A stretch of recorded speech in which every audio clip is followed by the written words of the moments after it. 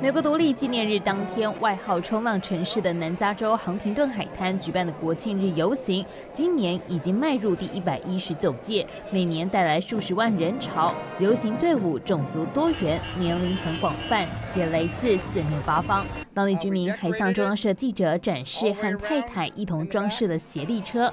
他说：“大家这么用心的布置，目的是为了记得美国在两百多年前宣布独立。” Celebrate it because this is our independence. You know, for what 200 years now, this is our freedom that we have. A lot of people have lost their lives to get to this point, so we like to celebrate it. That's what it's all about. Well, as you can see, uh, by the amount of people here in, in Huntington Beach and everybody celebrating across America, it, it's a huge thing. It just puts a pro- all this, the problems of the world away for this one day, and we all come together and just celebrate our country. So it's a great time to celebrate to our independence, our country's history, and our inclusion of everybody that comes in, and just to have everybody celebrate with us and enjoy a great day in the summer.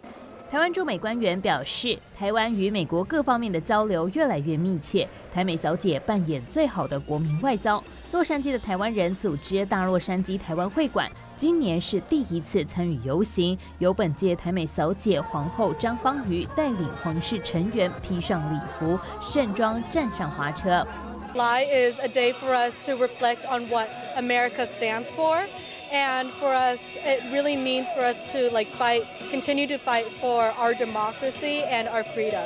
So for us to be here today and for us to have our this Taiwanese American float, it means a lot to us. 这辆台侨热心出资的花车队伍的前方，还有电音三太子，炒热气氛。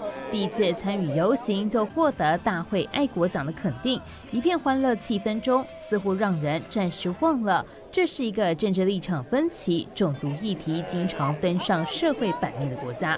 中央社记者林宏汉洛杉矶报道。